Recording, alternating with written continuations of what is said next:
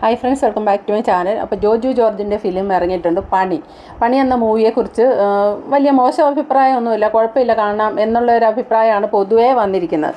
റിവ്യൂവും ജനങ്ങളും എല്ലാം പറയുന്നത് അങ്ങനെയാണ്. അപ്പം അതിനെതിരെ ആദർശ് എന്ന് പറയുന്ന ഒരു യുവാവ് ഫേസ്ബുക്കിൽ പോസ്റ്റ് ഇട്ടിരുന്നു. പോസ്റ്റ് വെറുതെ ഒന്ന് സാധാരണ യൂട്യൂബേഴ്സ് പറയുന്ന പോലെ റിവ്യൂ ഇട്ട് പോവുക മാത്രമല്ല ചെയ്ത് എന്തോ ഒരു വ്യക്തി വ്യക്തിവൈരാഗ്യം പോലെ കമന്റ് ഓരോരുത്തരും പോയി ഇത് കാണരുത് കൊള്ളരുത് കൊള്ളിയല്ലാത്ത ഫിലിം എന്നൊക്കെ പറഞ്ഞ് കോപ്പി പേസ്റ്റ് ചെയ്യുന്നു. കമന്റ് എന്നൊക്കെയുള്ളതാണ്. അതിന് ജോജി ജോർജ് പുള്ളിക്കാരനെ വിളിച്ച് ഭീഷണിപ്പെടുത്തിയെന്നോ അങ്ങനെ എങ്ങാണ്ട് ഭീഷണിയുടെ സ്വരമായിരുന്നു എന്നൊക്കെയാണ് പറയുന്നത്.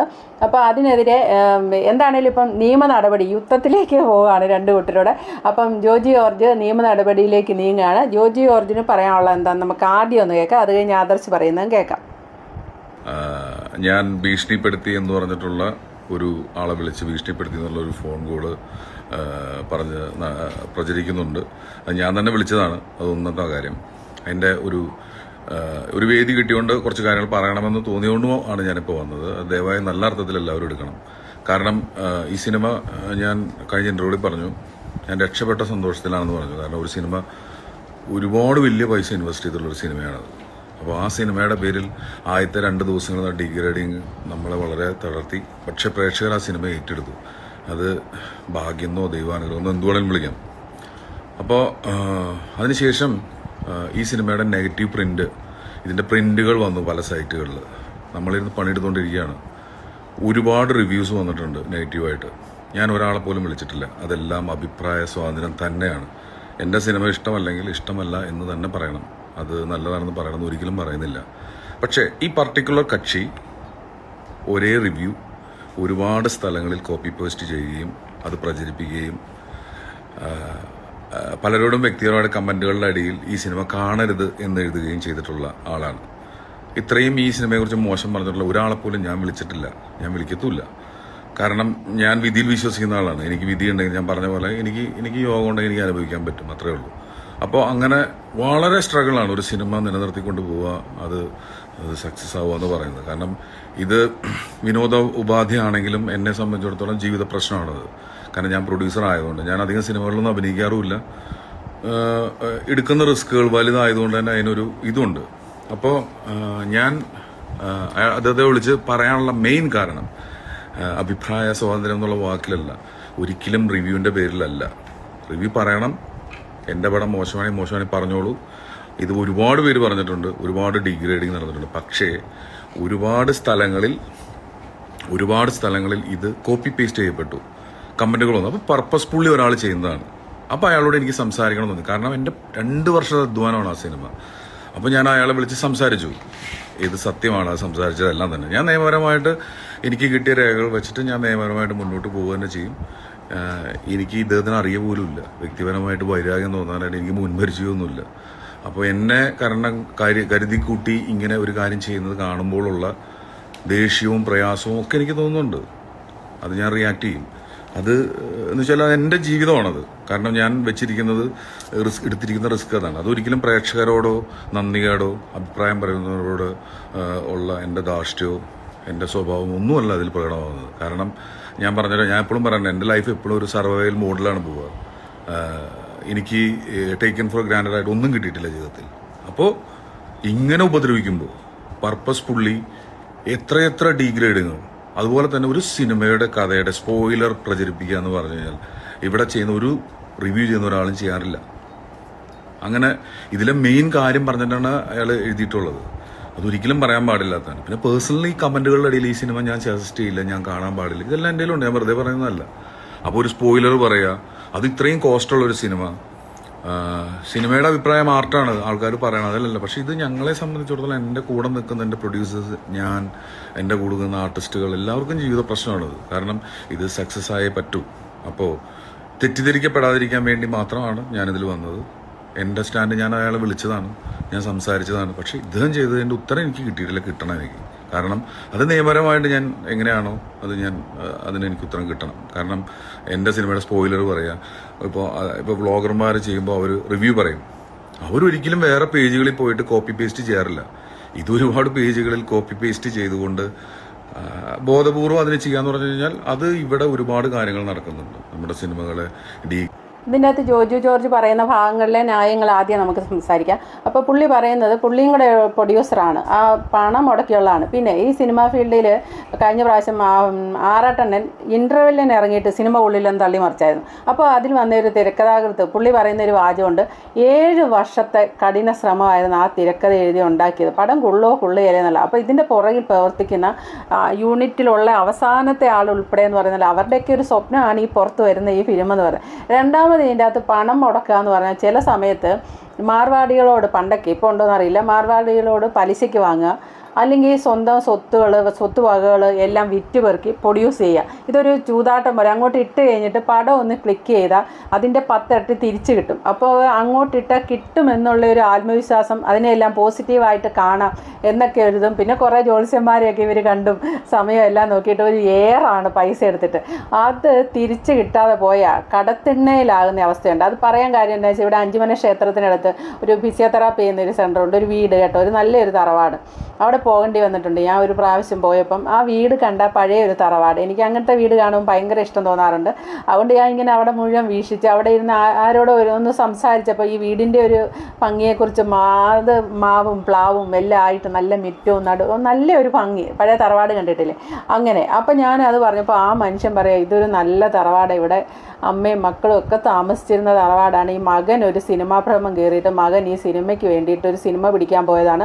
ആ സിനിമയ്ക്ക് വേണ്ടിയിട്ട് ഈ ബ്ലേഡ് ബാങ്കിൽ നിന്ന് എടുത്തു ബ്ലേഡിൽ നിന്നും ഒക്കെ പണം എടുത്തു. അവസാനം ബാങ്കുകാർ ഇത് ജപ്തി ചെയ്ത് ലേലത്തിന് വെച്ച് അങ്ങനെയാണ് ഇവരിത് വാങ്ങിയിരിക്കുന്നത് എന്നുള്ളത് പറഞ്ഞു. എന്നിട്ട് അതിന്റെ ലാസ്റ്റ് കേട്ടപ്പോഴാണ് സങ്കടം വന്നത്. ആ മകനും അമ്മയും പെരുവഴിയിൽ ഇറങ്ങി മകൻ ഇപ്പോൾ എവിടെയാണെന്ന് ആർക്കും അറിയത്തില്ല. അമ്മ പക്ഷേ അനാഥാലയത്തിലോ എവിടെയോ ഉണ്ടെന്ന്. അപ്പോൾ ഒന്ന് ആലോചിച്ച് നോക്കി ഒരു ഫിലിമിന് വേണ്ടി ഇറങ്ങി തിരിച്ച്. അങ്ങനെ എത്ര എത്ര കഥകളുണ്ട്. അപ്പോൾ ജോജു ജോർജ് പറയുന്ന ഭാഗത്തെ ന്യായം അതാണ്. അവർ രണ്ട് വർഷക്കാലം കഷ്ടപ്പെട്ട് എടുത്ത ഒരു ഫിലിമാണ്. ഇതിന്റെ അകത്ത് ഇപ്പോൾ റിവ്യൂ പറയുന്ന യൂട്യൂബേഴ്സ് ചെയ്യുന്ന ഒരു കാര്യമുണ്ട്. അവർ പറയുമ്പോൾ എപ്പോഴും ഒരു ന്യായമുണ്ട് യൂട്യൂബേഴ്സിന്റെ ഭാഗത്ത്. അവർ അതിന്റെ കാതലായ ഒരു ഭാഗമുണ്ടല്ലോ. കഥ എന്താണ് എന്നുള്ളത് ഇപ്പോൾ പ്രമയുഗം സിനിമ എടുക്കുകയാണ്. അതിന്റെ അകത്തെ വില്ലൻ ആരാണെന്ന് നമ്മൾ പറഞ്ഞു കഴിഞ്ഞാൽ കഴിഞ്ഞില്ലേ? മമ്മൂട്ടിയല്ലേ അതിന്റെ അകത്തെ വില്ലൻ അപ്പോൾ അത് പറയാതെ അവിടെ ഇവിടെയൊക്കെ ആയിട്ട് കുറേ കാര്യങ്ങളങ്ങ് പറഞ്ഞു വിടും. എന്നാൽ ആൾക്കാർക്ക് താല്പര്യം തോന്നുന്നു ആ കഥ അങ്ങ് പറഞ്ഞു കഴിഞ്ഞാൽ പിന്നെ കഴിഞ്ഞില്ലേ? ഒരിക്കലും ആൾക്കാർ യൂട്യൂബേഴ്സ് അത് ചെയ്യത്തില്ല. കാതലായ ഭാഗം പറയത്തില്ല. കൊള്ളിയല്ലേ കൊള്ളിയെന്ന് പറയാൻ വേണ്ടി കുറച്ച് നല്ലതാണ് നല്ലതാണെന്ന് പറയാൻ വേണ്ടി കുറച്ച് ഭാഗം. അല്ലാതെ വേറൊന്നും പറയത്തില്ല. അങ്ങനെയാണ് റിവ്യൂ പറയാം ഇതിനകത്ത് ആദർശ് എന്ന് പറയുന്ന പയ്യൻ ഇത് കഥ പറയുന്ന പോലെ പറഞ്ഞു. പിന്നെ രണ്ടാമത് പേസ്റ്റ് കോപ്പി പേസ്റ്റ് ചെയ്തല്ല ഒരു വ്യക്തി വൈരാഗ്യം പോലെ. പക്ഷേ ഈ വ്യക്തികൾ നമ്മൾ കണ്ടിട്ടും കേട്ടിട്ടും പോലും ഇല്ലാത്ത ഒരു വ്യക്തി വ്യക്തിവൈരാഗ്യം അപ്പോൾ കമന്റ് ബോക്സിൽ പറയുന്ന ആറാട്ടെണ്ണനാകാൻ ശ്രമിച്ച അല്ല നെഗറ്റീവ് പറഞ്ഞു ഫെയിം കിട്ടാൻ വേണ്ടി പറഞ്ഞാണ് എന്നിങ്ങനെ പറയുന്നുണ്ട്.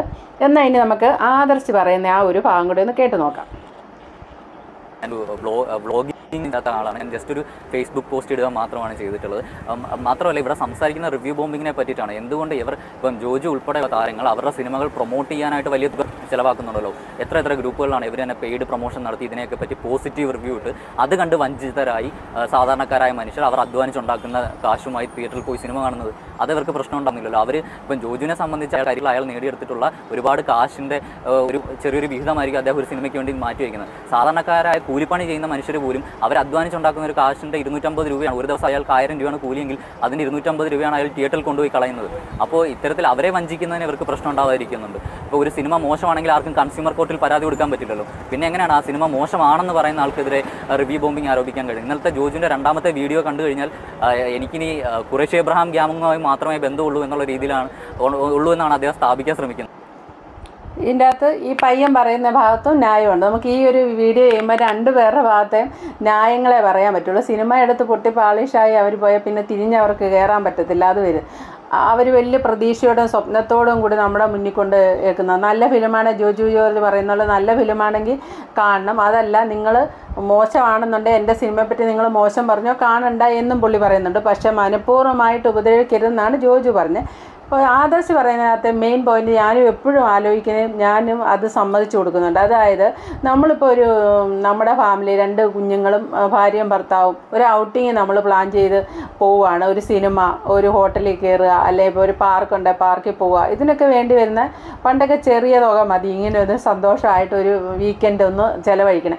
പക്ഷേ ഇപ്പോഴത്തെ ഈ സിനിമയുടെ ടിക്കറ്റ് എന്റെ പൊന്നോ മുന്നൂ മാളിൽ കയറി ഷോപ്പിംഗ് മാളിൽ കയറി ലുലു മാളിലോ ഒക്കെ സിനിമ കാണണമെങ്കിൽ മുന്നൂറ് മുന്നൂറ്റമ്പതൊക്കെ നല്ല തുക ചിലവാക്കി നമ്മൾ ഈ സിനിമ കാണാനിരിക്കുന്നു. അതുപോലെ തന്നെ പല സിനിമയും ടി വിയിലൊക്കെ വരുമ്പോഴും കാണുമ്പോൾ അയ്യോ ഇത് തിയേറ്ററിൽ പോയി കണ്ടിരുന്ന എന്റെ പൊന്നോ? എന്ന് നമ്മൾ ചിന്തിക്കാറില്ലേ? അത്ര വധം ഫിലിമുണ്ട്. ഇവരെ പറ്റിയൊക്കെ പറയുമ്പോൾ ബ്ലാക്ക് ആയിട്ടുള്ള പണം വെളുപ്പിക്കാൻ വേണ്ടി സിനിമ എടുക്കുന്ന കുറേ ആൾക്കാരുണ്ട്. നമുക്കിതൊന്നും അറിയത്തില്ല. ഇവരിപ്പോൾ എല്ലാ സിനിമയ്ക്കും ഇവരെല്ലാം ചാനലുകളിലെല്ലാം വന്നിരുന്ന് ഒടുക്കത്തെ പ്രൊമോഷൻ കൊടുത്ത് തള്ളി മറിക്കും അത് കേട്ട് വിശ്വസിച്ച് ഇവർ എന്തൊക്കെയാ പറഞ്ഞു പറ്റിക്കാത്ത കാര്യം. അത് കേട്ട് വിശ്വസിച്ച് നമ്മൾ ഇത്രയും പണം മുടക്കി തിയേറ്ററിൽ പോയി പടം കണ്ടിട്ട് ഇരുന്ന് ഉറങ്ങേണ്ട അവസ്ഥയോ അല്ലെങ്കിൽ ഇന്റർവെല്ലാകുമ്പോൾ ഇറങ്ങിപ്പോരേണ്ട അവസ്ഥയോ വരുമ്പോഴത്തേന് ഒരാളാണ് പോകുന്നത് കുഴപ്പമില്ല. നമ്മൾ ഈ കുടുംബം മൊത്തം പോയി കാണുമ്പോൾ നമുക്ക് എന്തോരം സാമ്പത്തിക നഷ്ടമാണ് വരുന്നത് ഇന്നത്തെ ഈ വിലക്കയറ്റമുള്ള ഈ കാലത്ത് രണ്ടറ്റവും കൂട്ടും മുട്ടിക്കാൻ വിഷമിക്കുന്ന ഒരു കാലത്ത് നമ്മൾ ഒരു ടൈം പാസിന് വേണ്ടി അല്ലെ ഒരു വളരെ ടെൻഷനിലൂടെയാണ് ഇപ്പോൾ ജനങ്ങൾ കടന്നു പോകുന്നത് അപ്പോൾ അതിനൊരു റിലാക്സ് ആവട്ടെ എന്ന് കരുതി നമ്മളൊരു ഫിലിം കാണാൻ പോയാൽ നമ്മുടെ ആ ആ, പൈസ നഷ്ടമാകുന്ന പോലത്തെ ഒരു ഫിലിമാണ് ഇവർക്ക് അതിന് ഉത്തരവാദിത്തമില്ല പോയത് പോയി അത്ര തന്നെ. ഇവർ അതിന് ആർക്കും എങ്ങും നമുക്ക് കൊണ്ട് കേസ് കൊടുക്കാനോ അയ്യോ ഞങ്ങളുടെ പൈസ പോയെന്ന് പറയാനോ ഒന്നും ഒരു കോടതിയില്ല ഒന്നുമില്ല. അപ്പോൾ ആ ആദർശ് ആ പറയുന്ന ഒരു ഭാഗം വളരെ ശരിയാണ്. പക്ഷേ ഞാൻ ലാസ്റ്റായിട്ട് പറയാനുള്ളതെന്ന് വെച്ചാൽ ഇവിടെ നല്ല ഫിലിമുകൾ പണ്ടും ഈ റിവ്യൂ ഒന്നും പറയാതെ ഇങ്ങനെയൊന്നും ഇല്ലാതെ പണ്ട് പണ്ട് കാലത്തിറങ്ങിയ ശങ്കരാഭരണം എന്ന് പറയുന്ന ഒരു ഫിലിമിനെ പറ്റി പറഞ്ഞ് ഞാൻ ചെറുപ്പത്തിൽ കേട്ടിട്ടുണ്ട്. ആ ഫിലിമൊക്കെ തുടക്കത്തിൽ ഒന്നോ രണ്ടോ ഒന്ന് ഒരാഴ്ചയൊക്കെ ഒരു മനുഷ്യരുമില്ലാതെ കിടന്നാണ്. അത് കഴിഞ്ഞിട്ട് ആ ഫിലിമൊക്കെ എന്തായി തീർന്നെന്ന് അത്ര അങ്ങോട്ടൊന്ന് ചരിത്രമായ പോലെ ആ സിനിമ പിന്നെ ഇത്രയും ഫെയിം നേടിയ മണിച്ചിത്രത്താഴ്. താഴ് എറണാകുളം ഷേണായിസിൽ അഞ്ചു ദിവസം എങ്ങാണ്ട് ആളില്ലാതെ ഓടിയ ഫിലിമാന്നാണ് പറയുന്നത് ഇപ്പോഴും അങ്ങനത്തെ ഒരു സിനി സിനിമകൾ ഇറങ്ങുന്നുണ്ട്. അതായത് മനുഷ്യരെ നാവാൽ പറഞ്ഞ് പ്രൊമോഷൻ കൊടുക്കും. അതിന്റെ അർത്ഥം നമ്മൾ ഒന്ന് മനസ്സിലാക്കിയാൽ മതി. നല്ല ഫിലിം ആണെങ്കിൽ ഏതവൻ നിരൂപിച്ചാലും ഒരു കാര്യമില്ല നല്ല ഫിലിം ആണെങ്കിൽ ആൾക്കാർ പരസ്പരം പറഞ്ഞ് ആ ഫിലിമിന് ഒരു പ്രൊമോഷൻ കൊടുക്കും. നാക്കാൽ നാവാൽ ഒരു പ്രൊമോഷൻ അതിന് കിട്ടും. തീർച്ചയായിട്ടും ആ പടം വിജയിച്ചിരിക്കും.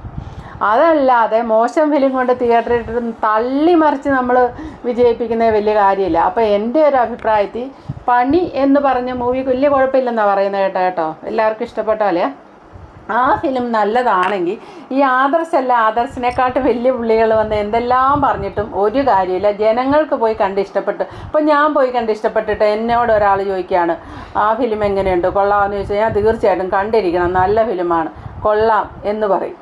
അപ്പോൾ ടോട്ടലി ഇത്രേ പറയാനുള്ളൂ. ജോജി ജോർജ് ഇത്രയും കിടന്ന് വിഷമിക്കേണ്ട കാര്യമൊന്നുമില്ല. നല്ല ഫിലിമാണ് ഓടിയിരിക്കും. പിന്നെ ആദർശ് ഈ പറയുന്ന പോലെ ഒരു ഒരു ഫിലിം കണ്ടിട്ട് ഒരു അഭിപ്രായം പറയുകയാണെങ്കിൽ കുഴപ്പമില്ല. അതിന്റെ പുറത്ത് പിന്നെയും പോയി കോപ്പി പേസ്റ്റ് ചെയ്ത് കമന്റ് ഇടുക എന്നൊക്കെ പറഞ്ഞാൽ അതൊരു മനഃപൂർവം ചെയ്യുന്ന പുള്ളിക്ക് ചിലപ്പോൾ പുള്ളിക്ക് ഫേമസ് ആകാൻ ഫെയിം കിട്ടണമെന്ന് ഓർത്തായിരിക്കും പക്ഷേ രണ്ട് മൂന്ന് വർഷത്തെ ഇവരുടെ അധ്വാനത്തിന്റെ ഫലം മറന്ന് അങ്ങനെ വ്യക്തിഹത്യ ചെയ്യുന്നത് ഒട്ടും ശരിയായ നടപടിയല്ല. അപ്പോൾ okay thank you for watching അടുത്ത വീഡിയോ കാണാം. ആദ്യമായിട്ട് കാണുന്നത് ചാനൽ ഒന്ന് സബ്സ്ക്രൈബ് ചെയ്യാൻ മറക്കില്ലേ?